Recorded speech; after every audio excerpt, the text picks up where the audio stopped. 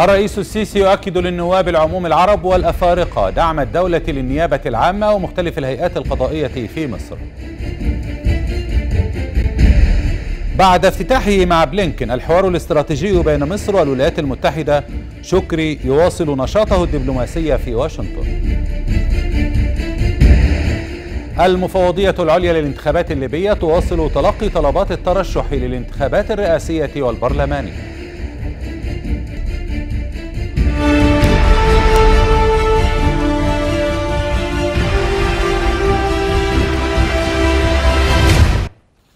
أخبار السابعة من النيل في القاهرة. أهلا ومرحبا بحضراتكم. أكد الرئيس عبد الفتاح السيسي دعم الدولة للنيابة العامة ومختلف الهيئات القضائية في مصر باعتبار أن سيادة القانون هي أساس الحكم وأن العدل أسمى القيم الإنسانية وأساس استقرار المجتمعات.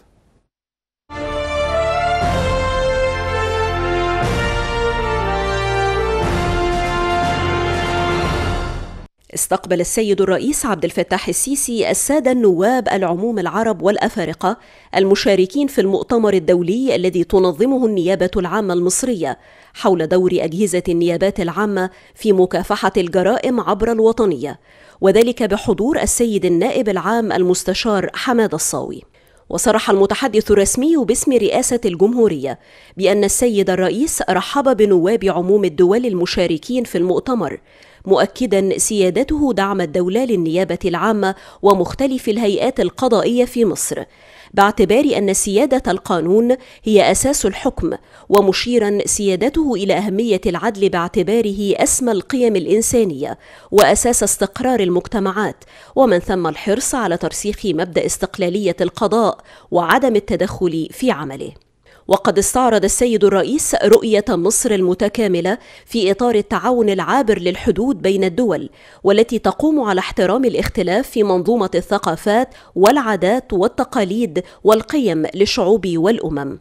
مما يستدعي الفهم الكامل لهذه المسألة لاستيعاب التنوع الاجتماعي والاقتصادي والحضاري وتوفير مساحة كافية للتفاهم وتبادل الخبرات.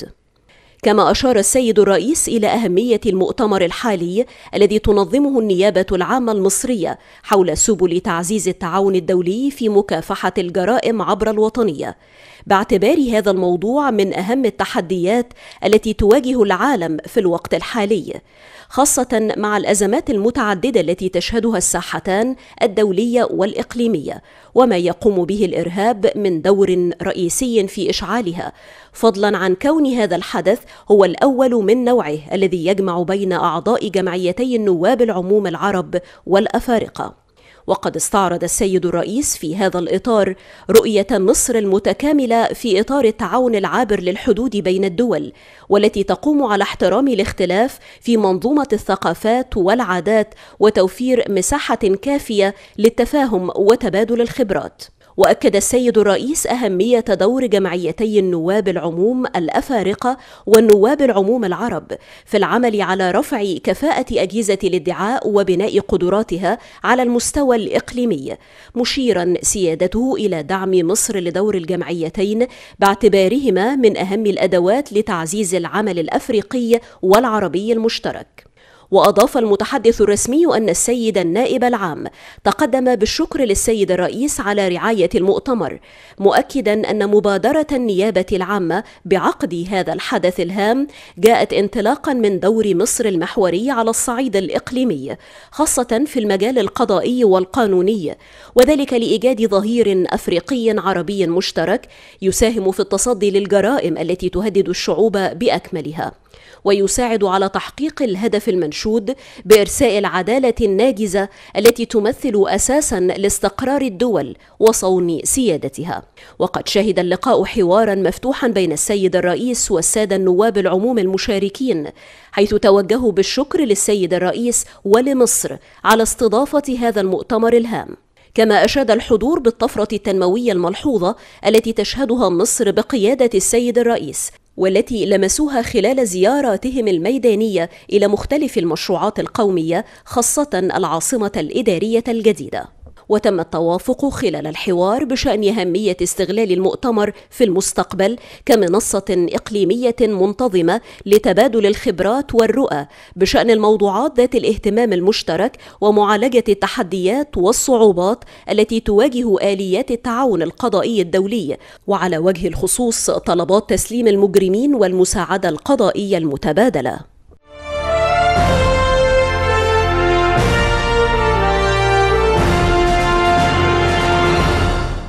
وجه الرئيس عبد الفتاح السيسي بتطبيق كافة المعايير الحديثة لتطوير المدن الجديرة والقائمة بصورة مستدامة مع تجهيز البنية الأساسية لتلك المدن لتصبح مدنا خضراء وصديقة للبيئة بما فيها استخدام الطاقة الجديدة والنظيفة خاصة في وسائل النقل الجماعي.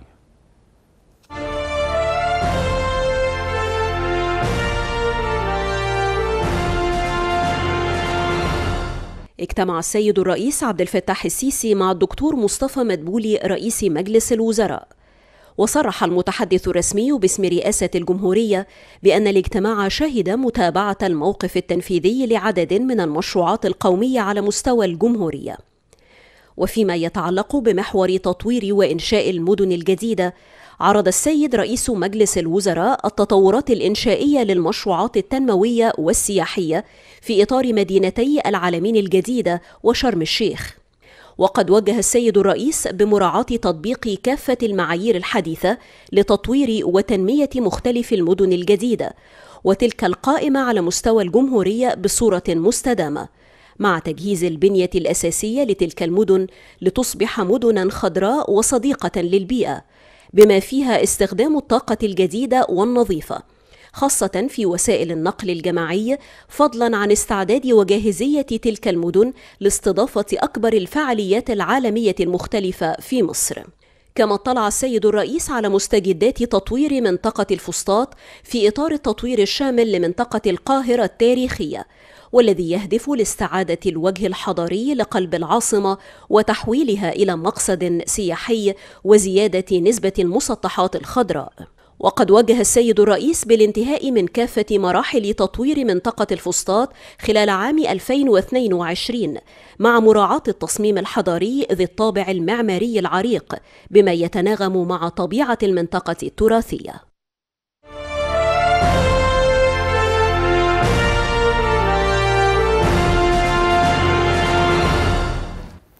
تلقى الرئيس السيسي اتصالا هاتفيا من الرئيس الفرنسي إيمانويل ماكرون تناول الاتصال مناقشة الاستعدادات الجارية لاستضافة باريس للمؤتمر الدولي حول ليبيا خلال الشهر الجاري. وقد عبر الرئيس الفرنسي عن حرصه على التشاور وتبادل الرؤى مع الرئيس السيسي بشأن القضية الليبية.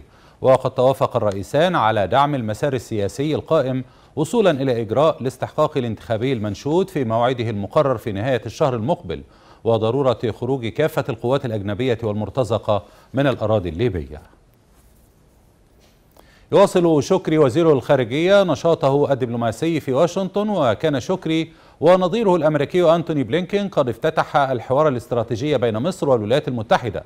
كما عقد الجانبان جلسة محادثات جرى فيها مناقشة جميع أوجه علاقات التعاون الثنائي ومجالات العمل المستهدف تعزيزها بين البلدين الصديقين. كما تناول محادثات شكري تناولت محادثات شكري وبلينكين أبرز القضايا الإقليمية والدولية. ثمن وزير الخارجية سامح شكري العلاقات الاستراتيجية بين مصر والولايات المتحدة في جميع المجالات. وخلال مؤتمر صحفي مع نظيره الأمريكي قال أنتوني بلينكين مع نظيره الأمريكي أنتوني بلينكين في واشنطن أكد شكري أهمية تعزيز التعاون بين البلدين لضمان استقرار المنطقة. ونرحب بهذا الحوار الهام بين مصر والولايات المتحدة الأمريكية الذي يغطي الكثير من القضايا والموضوعات الهامة. وقد جرت لنا الكثير من النقاشات والحوارات على مدار السنوات الماضية. وأنا أتطلع إلى اجتماعاتنا المستمرة.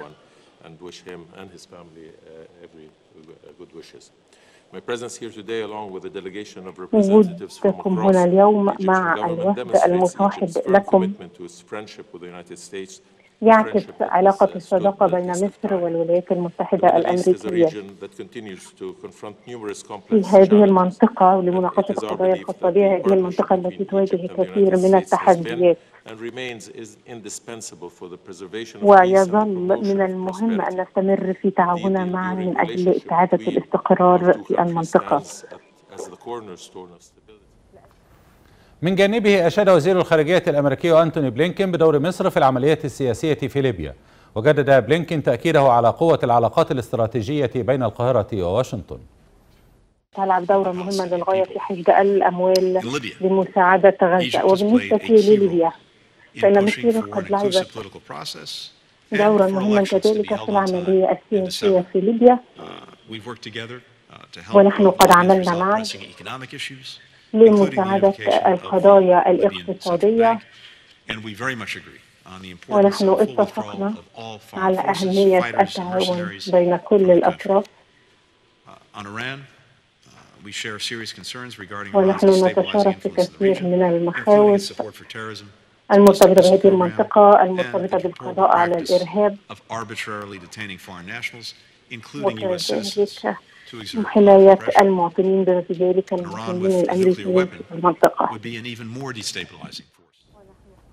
أفاد المتحدث العسكري بأن اللجنة العسكرية المشتركة نجحت بناء على الاجتماع التنسيقي مع الجانب الإسرائيلي في تعديل الاتفاقية الأمنية بزيادة عدد قوات حرس الحدود وإمكاناتها بالمنطقة الحدودية برفح. وذلك في إطار اتفاقية دولية بما يعزز ركائز الأمن طبقا للمستجدات والمتغيرات. يأتي هذا في ضوء المساعي المصرية للحفاظ على الأمن القومي المصري واستمرار لجهود القوات المسلحة في ضبط وتأمين الحدود على الاتجاه الاستراتيجي الشمالي الشرقي. نظمت قيادة الجيش الثاني الميداني بالتعاون مع جمعية المحاربين القدماء وضحايا الحرب حفلا لتكريم أسر الشهداء ومصاب العمليات الحربية من رجال القوات المسلحة والشرطة المدنية وأسر الشهداء بمحافظتي شمال سيناء والإسماعيلية. يأتي ذلك في إطار استمرار احتفالات مصر والقوات المسلحة بالذكرى الثامنة والأربعين لانتصارات أكتوبر المجيدة وتنفيذا لتوجيهات القيادة العامة للقوات المسلحة بتقديم الدعم الكامل لأسر الشهداء ومصاب العمليات الحربية الذين قدموا أرواحهم ودماءهم فداء للوطن. تجرى الاستعدادات على قدم وساق للانتهاء من كافة الأعمال بالعاصمة الإدارية الجديدة سواء بالحي الحكومي أو حي المال والأعمال والحي السكني والنهر الأخضر. يأتي ذلك تنفيذا لتكليفات الرئيس للحكومة بالانتقال إلى العاصمة الإدارية خلال شهر ديسمبر المقبل وذلك لفترة تجريبية تستمر ستة شهور. عشرون حيا سكنيا هو إجمالي المستهدف إنشاؤه داخل العاصمة الإدارية التي تقع على مساحة 170 ألف فدان فيما تضم المرحلة الأولى نحو ثمانية أحياء. تنفذ وزارة الإسكان منهم الحي الثالث والخامس. هنا في الحي السكن الثالث ألف فدان تقريبا بيضم 24 ألف وحدة سكنية ثمان آه، مجاورات آه، ست مجاورات عمارات واثنين مجاورة فيلات آه، في حدود 700 عمارة سكنية بيضموا 20 ألف وحدة سكنية. كمان عندي منطقة الفيلات وهم اثنين مجاورة بيضموا 952 وحدة فيلات من ما بين فيلات town house و twin house و single في عندي اثنين طراز معماري ليها المجاورة الخامسة واخدة الطراز المعماري ال Mediterranean أو شرق البحر المتوسط. كمان عندي المجاورة الرابعة وبتاخد الطراز المعماري الحديث. وبعيدا عن الحي السكني يوجد النهر الأخضر الذي يعد متنفسا لقاطني وزائر العاصمة الإدارية حيث تتم حاليا أعمال التشطيبات النهائية ليتم افتتاحه خلال شهر يناير القادم حيث يصل طوله لنحو 35 كيلو متر إحنا هنا في الحدائق المركزية وده يعتبر أكبر تجمع حدائق مركزية على مستوى العالم. بدأنا المرحلة الأولى منه على مساحة ألف فدان تقريبا بطول 11 كيلو تمتد من الطريق الدائري الأوسطي وحتى الطريق الدائري الإقليمي. مواكبة مع الافتتاح الرئاسي إن شاء الله للعاصمة الإدارية سيكون النهر الحدائق المركزية جاهزة للافتتاح والتشغيل بإذن الله. نسبة الإنجاز تقاربت على من 60 ل 65% تقريبا لنسبة النهو.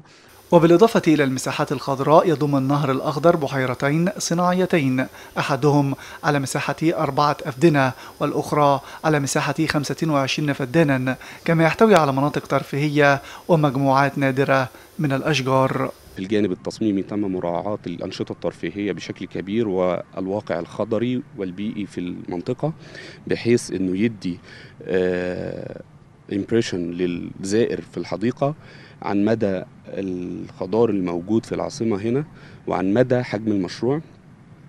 تم مراعاة برضو حجم الممرات الموجودة وتنوعها بحيث تكون ممرات للجري وممرات للدراجات الهوائية وممرات للمشي.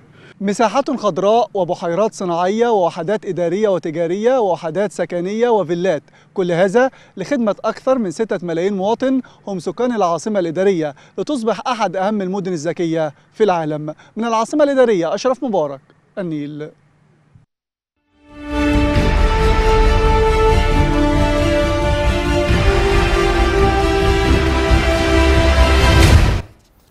تواصل المفوضية العليا للانتخابات الليبية تلقي طلبات الترشح للانتخابات الرئاسية والبرلمانية المقررة في ديسمبر المقبل وتم تسجيل أكثر من مليوني ناخب ليبي من حوالي سبعة ملايين نسمة على المنصة الإلكترونية للمفوضية الوطنية العليا للانتخابات.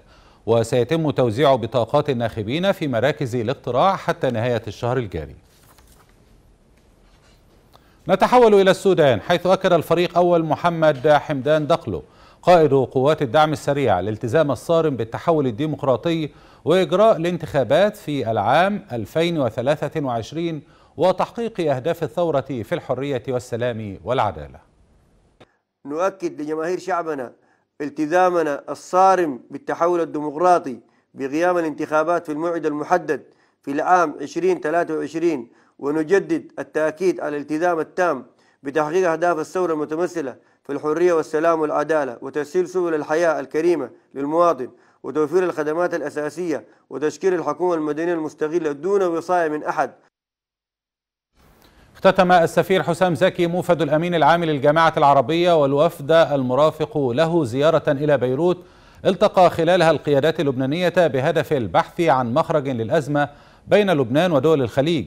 وصرح مصدر مسؤول بالأمانة العامة للجامعة أن السفير حسام زكي عقد لقاءات مع كل من الرئيس ميشيل عون ورئيس الوزراء نجيب ميقاتي ورئيس مجلس النواب نبيه بري حيث انصبت المحادثات على كيفية علاج الأزمة في أعقاب الأزمة التي أثرتها تصريحات وزير الإعلام اللبناني. ووضح المصدر أن الوفد لمس لدى كافة القيادات اللبنانية حرصا كبيرا على العلاقة مع المملكة السعودية. هذا وقد أكد السفير حسام زكي أن المحادثات مع لبنان بشأن الخلاف الحالي مع دول الخليج تسير في اتجاه إيجابي. العلاقات بين الدول العربية يعني طبعا لها أسس تقوم عليها وهناك ميثاق لجامعة الدول العربية الجميع ملتزم به وهذا الأمر يعني نحرص على احترامه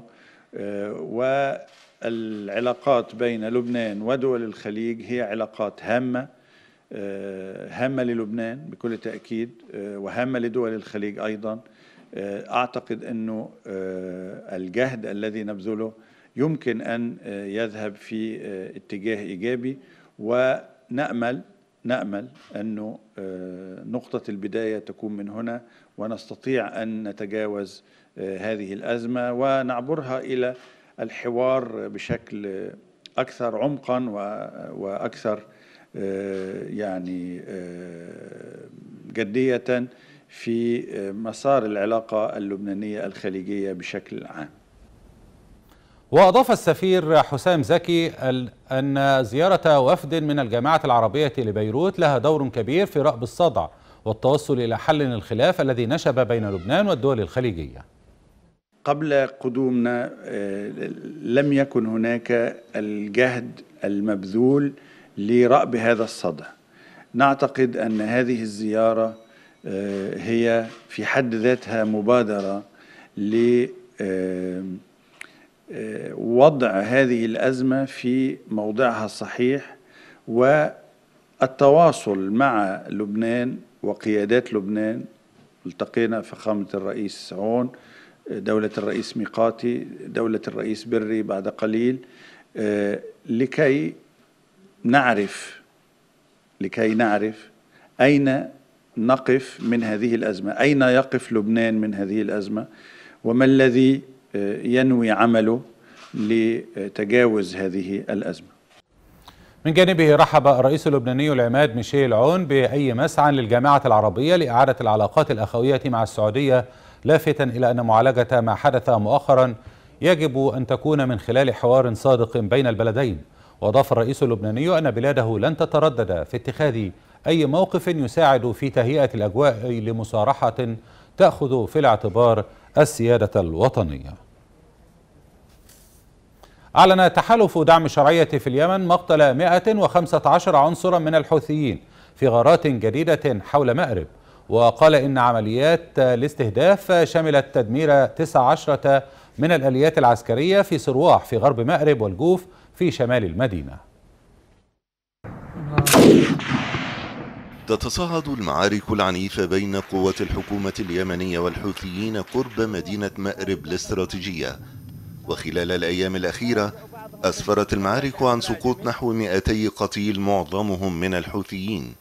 نحن هنا في أطراف مأرب نصد الجيش الوطني والمقاومة الشعبية نصد زحوفات ميليشيا الحوثية الإيرانية الإجرامية على مأرب ونكبده خسائر كبيرة في الأموال والعداد بدوره أعلن تحالف دعم الشرعية في اليمن مقتل العشرات من عناصر الحوثي في غارات جديدة حول مأرب. وقال بيان للتحالف إن الغارات استهدفت تدمير 19 من الآليات العسكرية في سرواح في غرب مأرب والجوف في شمال المدينة. وتسعى قوات الحوثي من تصعيد القتال إلى السيطرة على مأرب الغنية بالنفط لاستكمال سيطرتهم على النصف الشمالي من اليمن. واندلع الصراع في البلاد عام 2014 عندما سيطر الحوثيون على العاصمة صنعاء وجزء كبير من شمال البلاد. ودخل التحالف العربي بقيادة السعودية الحرب في مارس عام 2015 لدعم الحكومة الشرعية. وخلال سبع سنوات أدخلت الحرب اليمن في واحدة من أسوأ الأزمات الإنسانية في العالم وفق الأمم المتحدة فيما بلغ عدد من نزحوا من مأرب مؤخرا أكثر من 55 ألفا. يجري كبير المفوضين النوويين الإيرانيين علي باقر اليوم محادثات مع مسؤولين فرنسيين في إطار جهود التخطيط لاستئناف المحادثات النووية في التاسع والعشرين من نوفمبر الجاري. وسيلتقي علي باقري وهو أيضا نائب وزير خارجية إيران مع فيليب إريرا مدير الشؤون السياسية بوزارة الخارجية الفرنسية ورئيس وفد التفاوض الفرنسي. أكد قائد جيش تحرير أورومو جال مورو الذي يقاتل قوات الحكومة الفيدرالية في إثيوبيا أن قواته اقتربت من العاصمة أديس أبابا وتحضر لشن هجوم آخر متوقعا أن تنتهي الحرب في وقت قريب جدا. يأتي ذلك في حين لم يستبعد مقاتلو الجبهة الشعبية لتحرير تجري وحلفائهم من جيش تحرير أورومو الزحف نحو أديس أبابا وذلك بعد استعادته مدينتين استراتيجيتين على بعد 400 كيلومتر من العاصمة أديس أبابا. في المقابل تنفي الحكومة أي تقدم لجيش تحرير أورومو إلا أنها أعلنت حالة, حالة الطوارئ وطلبت من السكان تنظيم أنفسهم للدفاع عن العاصمة. أعادت الولايات المتحدة فتح حدودها البرية والجوية أمام المسافرين الأجانب الملقحين بعد عشرين شهرا على إغلاقها وفرض قيود على السفر مما أسفر عن تشكيل طوابير طويلة عند المعابر الحدودية الأمريكية.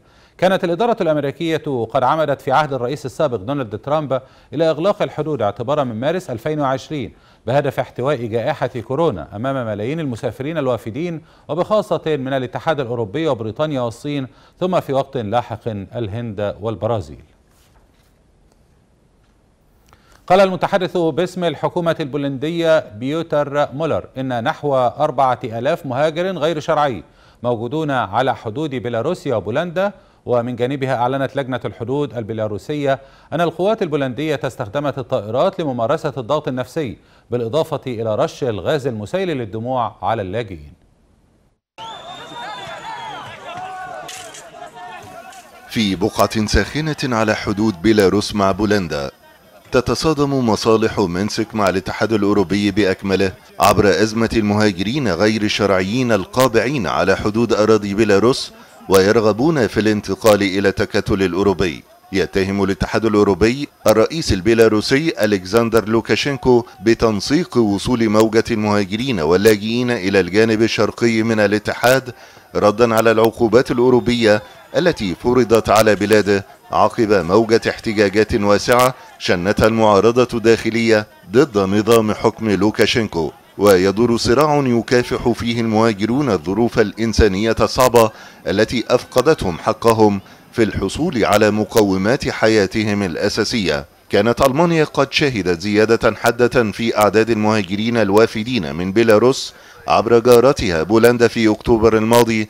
بلغ عددهم ما يقرب من خمسة ألاف شخص. لذا تؤيد برلين رغبة ورسو في بناء جدار حدودي مع بيلاروس. هذا هجوم من بيلاروس. إن نظام بيلاروس مضاد لدولة عضو في الاتحاد الأوروبي. إن نظام بيلاروس يعمل كأنه مهرب يستخدم اللاجئين والمهاجرين سياسيا وسوف تقف أوروبا معا ضد هذا الهجوم. وبين سياسات الشد والجذب يحاول نشطاء حقوق الإنسان إمداد المهاجرين المنكوبين بالمساعدات الإنسانية اللازمة لبقائهم على قيد الحياة خاصة الأغطية والملابس لمواجهة ظروف الطقس البارد والحد الأدنى من قوتهم اليومي. بعد قليل في أخبار السابعة الغريب فيلم مصور في الجولان يحتل مكانة بارزة في مهرجان أيام فلسطين السينمائي.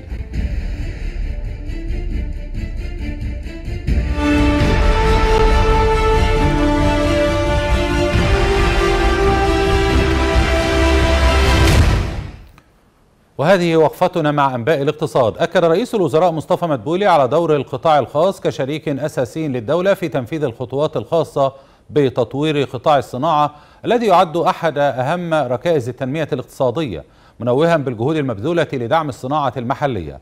جاء ذلك خلال استعراض مدبولي عدد من المقترحات الخاصة بتوطين الصناعات المغذية ومستلزمات الإنتاج.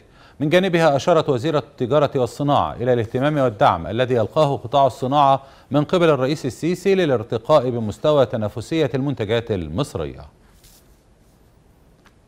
أكد المركز الإعلامي لمجلس الوزراء أن مصر حققت قفزة تاريخية في الصادرات بفضل دعم المشروعات الإنتاجية والتصديرية.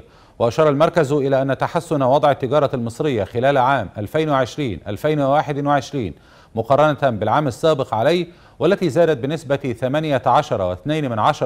18.2% مسجلة 34 مليارا و4 من عشرة من المليار دولار في حين تراجعت قيمة العجز التجاري بنسبة 6.7% مسجلة 41 مليارا و6 من عشرة من المليار دولار. وأكدت أكد التقرير على تحسن سوق العمل والصادرات بدعم زيادة القدرة التنافسية للاقتصاد المصري كما يعزز قدرة مصر على مواجهة الصدمات. قام وفد برلماني من 42 نائبا بزيارة شركة أبو زعبل للصناعات المتخصصة. وخلال الزيارة تم التأكيد على حرص الوزراء على أداء مهمتها الأساسية في تلبية احتياجات القوات المسلحة من مختلف الأسلحة والمعدات والذخائر. كما يتم الاستفادة من فائض الطاقات الإنتاجية لشركاتها التابعة لخدمة القطاع المدني ودعم الاقتصاد القومي وتقليل الاستيراد وزيادة الاحتياطي النقدي من العملات الأجنبية. أعلن المتحدث الرسمي باسم وزارة التموين والتجارة الداخلية أحمد كمال أن نسب صرف المقررات التموينية خلال الأسبوع الأول من الشهر الحالي بلغ 35% وأكد كمال أن وزارة التموين قامت بضخ كميات كبيرة من السلع الغذائية بمجمعاتها التي تصل إلى 1300 مجمع بكل محافظات الجمهورية بنسب كبيرة خاصة في السلع الاستراتيجية بتخفيضات تصل إلى 20%. قال وزير الطاقة الإماراتي سهيل المزروعي إن عدم كفاية الاستثمارات في صناعة النفط والغاز الطبيعي يمكن أن يؤدي إلى ارتفاع أسعار الطاقة.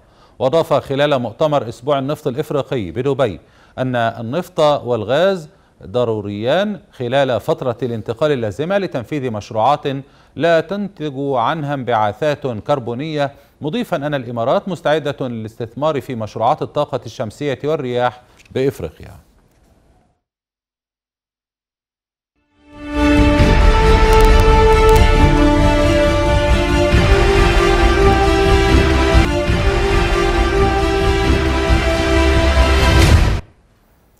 في مهرجان أيام فلسطين السينمائية احتل فيلم نادر. جرى تصويره في مرتفعات الجولان المحتلة مكانة بارزة داخل المهرجان.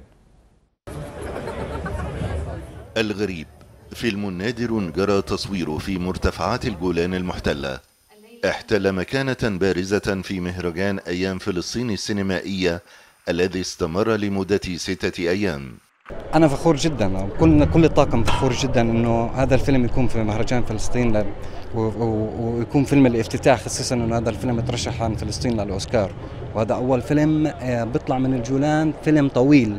الفيلم تدور أحداثه على خلفية الحرب الأهلية السورية ويروي قصة عدنان أحد سكان الجولان المحتلة الذي يشعر بأنه غريب في وطنه. أقيم المهرجان في ست مدن. تفصل بين معظمها الحدود ونقاط تفتيش. عرضت الأفلام في الضفة الغربية وقطاع غزة والقدس الشرقية والناصرة وحيفا. طبعا إحنا يعني أي مبادرة هي بتحيي هذا المشهد الثقافي الموجود في المدينة فهي مبادرة يعني يعني يعني مشكورة مبادرة رائعة جدا بتكون مميزة.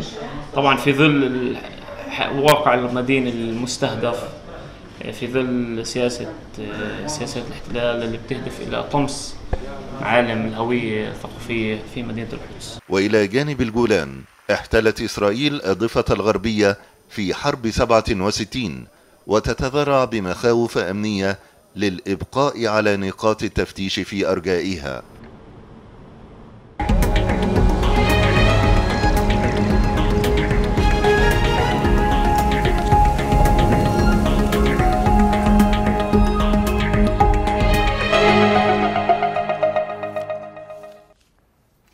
في إسبانيا يواصل بركان لابالما إطلاق الحمم والرماد والغازات بعد شهر ونصف الشهر من ثورانه.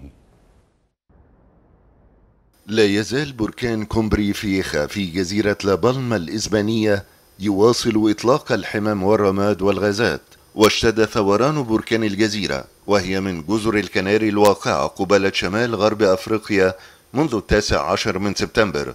ويقول العلماء إن ثوران البركان قد يستمر لمدة تصل إلى ثلاثة أشهر. لكن الخبراء قالوا إن التنبؤ بموعد انتهاء الثوران أمر صعب حيث إن الحمم البركانية والرماد والغازات التي تخرج على السطح هي انعكاس لنشاط جيولوجي معقد يحدث في أعماق الأرض وبعيدا عن متناول التكنولوجيا المتاحة حاليا. ويعيش حوالي 85 ألف شخص في الجزيرة وتم إجلاء أكثر من سبعة ألاف شخص من منازلهم بسبب تهديد أنهار الحمم البركانية. وأعلنت السلطات أن أكثر من عشرين ألف فدان بين البركان والمحيط الأطلسي أصبحت محظورة. ودمرت الحمم البركانية أكثر من 2100 مبنى معظمها منازل ومزارع. تسبب هطول الأمطار الغزيرة في الهند في اجتياح لفيضانات عارمة شوارع ومنازل مدينة تشيناي عاصمة ولاية تاميل نادو.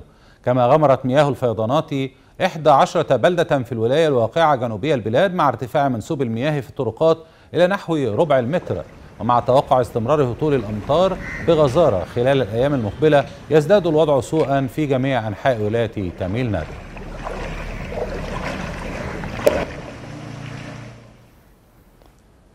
أما في مصر فيسود اليوم طقس مائل للحرارة على القاهرة الكبرى والوجه البحري وجنوب سيناء معتدل على السواحل الشمالية حار على جنوبي البلاد. إلى حضراتكم بيان بدرجات الحرارة.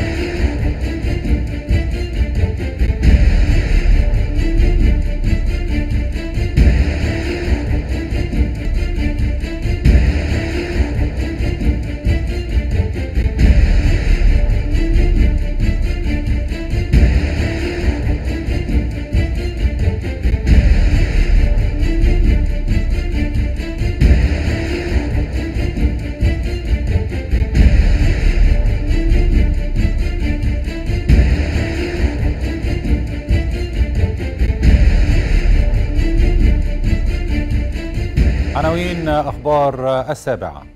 الرئيس السيسي يؤكد للنواب العموم العرب والأفارقة دعم الدولة للنيابة العامة ومختلف الهيئات القضائية في مصر. بعد افتتاحه مع بلينكن الحوار الاستراتيجي بين مصر والولايات المتحدة شكري يواصل نشاطه الدبلوماسي في واشنطن. المفوضية العليا للانتخابات الليبية تواصل تلقي طلبات الترشح للانتخابات الرئاسية والبرلمانية ختام أخبار السابعة. جاءتكم من النيل في القاهرة. نشكر لحضراتكم حسن المتابعة وإلى اللقاء.